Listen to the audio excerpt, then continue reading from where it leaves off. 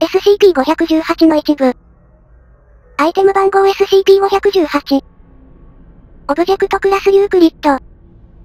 特別収容プロトコル SCP-518 は最低でも3人の職員、1人の企画主任、2人の補欠職員からなる実地研究班によって監視されます。この班は SCP-518 から 3km の地点にある遠隔観察サイト、18を拠点とします。SCP-518 の周囲に自動保安境界線を確立、維持することになっています。研究が目的であるならば、SCP-518、1の物理的な複製一つをいつでも存在させる許可が与えられます。この複製は常に不透明の保護スリーブケースに収容され、施錠されたコンテナに密封して、サイト、93のアクセス制限袖室の保管ロッカー742に置かれます。電子コピー一つはサイト、93と遠隔観察サイト、18の認可によりアクセスが許可されます。財団職員は無許可の SCP-518、1を発見したら即座に破壊してください。説明 SCP-518 は SCP-518、1の普及と露見によって触媒作用を及ぼす、局所的異常現象です。SCP-518 は現在、小さな盆地にある19世紀中頃のアメリカ西部開拓時代の建築スタイルで建てられた様々な修繕、設計、建築がされている集合建築です。これら建築物は開拓時代と矛盾した方法で配置されています。建物は大雑把に循環パターンで配置されており、交通システムや地形などは考慮されていません。建築物の一つは小川上流にあります。SCP-518 はアメリカ、オレゴン州でシューツ郡の田舎、メトリウス川近辺にあります。SCP-518、1は短い話で、最初の SCP-518 での探査で文書化されました。探査記録518、1参照。SCP-518、1が賢い、それぞれを理解できる対象に読まれると、SCP-518 は自発的な物理変化が起こります。大抵、これらの変化はそれぞれ関係する建築物の動きを伴い、建築物の内部の再編成と SCP-518 の地理的近辺にわずかな沈下を引き起こします。いくつかの場合では、SCP-518、1を読むことで新たな建築物が現れたり、既存の建築物が単に存在しなくなったりします。研究員はこの物理的変化が即座にもしくは現在の観測能力を超す速度で発生することを測定しました。SCP-518 建築の内部、SCP-518 が作る建築物は外見上は共通して1850年代と1860年代で見られる構造に似ています。さらに数件では現在、納屋、3階建ての宿、ノコギリ工場があります。しかし、これら建築物の内部は伝統的な住居と設置ではありません。壁、床、天井の特徴は恣意的に建築された傾向にあります。家の部屋ではドアがない、床が水平でない、1の住居では角度37度の床が建築されていました。天井の高さは1メートルかそれ以下などが観察されました。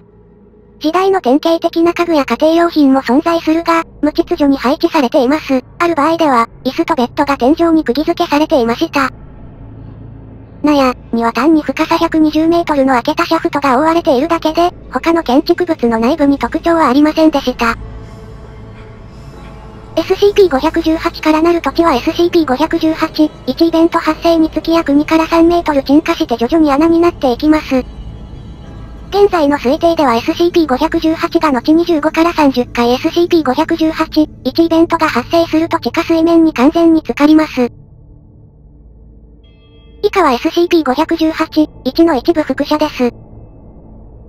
これは私の最後の意志と遺言だ。ケンタッキー、グレット、S ホローの朝、ラトレッジ1万、1859年2月11日に作成。私には残すような財産はない。データ編集済み。たとえこの魂が地獄に落ちようとも、私の最後の願いが完全に実行されるよう指揮する。この場所、ここで起きたすべての出来事は最後の審判の道まで人類から忘れ去られ、大地に埋もれるだろう。神には何も隠し事はできない。しかしこれが今私ができる唯一の償いであり、私の決意である。私に残された力でこの務め、この遺言が私の恥を隠してくれるよう、この形見が忘却へと向かうように祈る。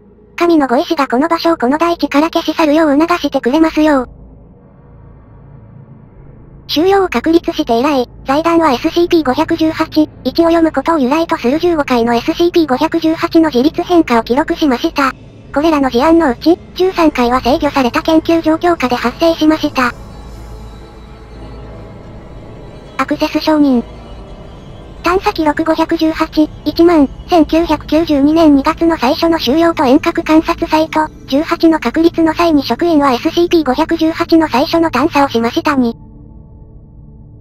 クラス職員からなる班が派遣され、ツーウェイ、ラジオ、懐中電灯、水、非常食、バール、ビデオカメラが装備されました。ループ、カルモナ博士、SCP-518 の研究監督官は遠隔観察サイト、18から探査を監督しました。副社の抜粋外貨に記録されます。カルモナ博士供給品の検査、報告が済み、全職員を確認。D、3万、2995聞こえますか？?D、3299を聞こえる。カルモナ博士時刻は1405。視界に見える最初の建築物まで進んでください。d94237 こちらの映像を維持するためにカメラを正面に向けてください。D、94237了解。映像は家屋に似た SCP-518、A 建築物に向かう探査班を映します。班は玄関に到着し、入ろうとします。扉は施錠されています。D、3299号どうかねカルモナ博士力ずくで入ることを許可します。D、22343と D、94237はバールで扉をこじ開けます。D、3299号中はかなり暗いな。カルモナ博士明かりを照らし、内部を映してください。カメラから離れたところを照らす明かりは建築物の内部が、天井にタンスがあり床が明らかに南方の壁に向かって傾いていること以外は時代の典型的な構造だということを示しました。T、94237見えるかい？カルモナ博士確認できました。慎重に家の中を進み、周囲を記録してください。6分58秒のち、建築物北西の角に小さな扉が床にあるのが見えます。カルモナ博士 D、4万、8983視界に見える扉を開き、調査結果を記録してください。D、48983わかった。D、48983は床のハッチを開きます。他の探査員が開放部を照らした後、ハッチを通じて通り抜け可能な床下が示されます。カルモナ博士 D、48983と D、22343は目の前の空間を進んでください。P、22343、無茶言うなよ、あんた、俺が思うに。カルモナ博士目の前の空間を進んでください。P、22343は、わかった。P、22343と D、48983はカメラを手に取り、床下に明かりを照らします。D、22343が止まるまで通常の床下を示します。カルモナ博士止まりましたね。何か見つけたのですか、22343そこら中に穴があって、足首が痛え。カルモナ博士詳細にお願いします。T、22343あたくさんの小さな、長方形の穴がこの汚いとこにある。だいたい、50センチメートルかちょい上かまあ少し大きいぐらいか。狭い。カルモナ博士穴の中に何か別のものはありますか ?T、22343まあ待て、見てみる。ん、こらなんだあれ？?T、48983はカメラを D、22343の肩越しに動かします。穴の上に身を乗り出す間、D、48983は未確認の物体をいじっているように見えます。カルモナ博士何をいじっているのですか？不要な接触はやめてください。D、22343あ何でもない。何もなかった。カルモナ博士同意内容を忘れ、P、48983何もない。ここには何もなかった。カルモナ博士、もう数分この場所を記録してから、字の地点へと進んでください。映像は床下が D、22343の説明通りに無数の穴だらけなのを示します。D、48983と D22343 は他の探査員と合流し、何事もなく建築物を去ります。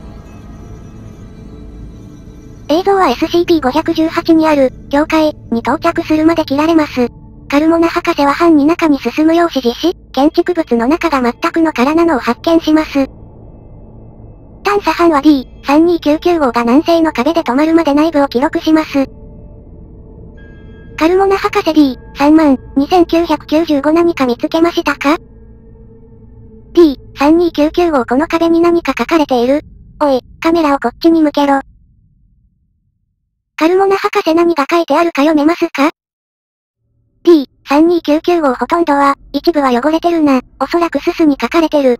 ここだ、ここを映してくれ。カメラは文章を映し、5に SCP-518、1だと確認されます。P3299 号、これは私の最後の意志と遺言だ。はっきりしないな。カルモナ博士で来るだけ映してください。P3299 号了解。P2399 号は SCP-518、一を小さなメモ帳に移そうとします。原文の汚れた箇所の言葉選びについて D、3万、2995D、2万、2343D、94237の間で議論が発生します。約25分後、D3299 号は書き終え、メモを読みます。即座に低い地響きが鳴り始め、映像は揺れ始めます。94237なんだ？なんだこれ？何が起きてる ?T22343 畜生。カルモナ博士そこで何が起きているのですか ?T22343 ここから出るぞ。さあ、早く。カルモナ博士中断しないでください。任務を。T4898 さんが背後で軽く笑っているのが聞こえます。探査班の誰かが叫び始めます。映像と音声が切れる前に大きな破壊音が聞こえます。カルモナ博士 D3299 号、聞こえますかそこで何が起きているんですか応答願いますかエンドトランスクリプト。